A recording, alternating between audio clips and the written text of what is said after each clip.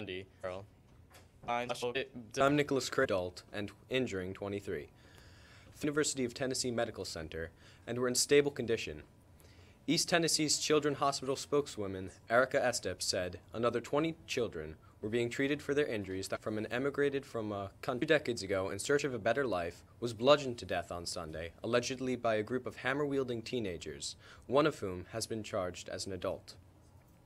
An Island grand jury could vote as early charges in case of Eric Garner, whose death in July from a police and set off a citywide debate over policing tactics between New York Police Department and minority communities. Well, that's for all for in the news. Back to the end. Sports Nation. I'm Jordan Hopkins. Basketball game away at Monsignor Scanlan at 5:30. So be there. There will be a meeting of all. Pause. Um, I have this day in history, so it's a little different for me. Osborne is born